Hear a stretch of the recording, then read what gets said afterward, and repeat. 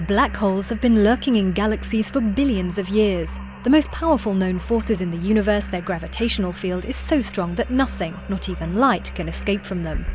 They're actually packed full of space matter, so are not really holes at all. There are at least two types of black hole. Stellar mass black holes form when a huge star more than 10 times bigger than our Sun burns up all its fuel and collapses in on itself. Scientists say there could be millions in our galaxy, the Milky Way, alone.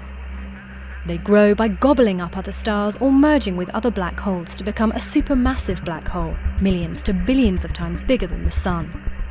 Humans can't see black holes, but we can observe their effect on matter close by. When normal stars are sucked in, they accelerate and heat up, emitting X rays, which are detected by orbiting space telescopes.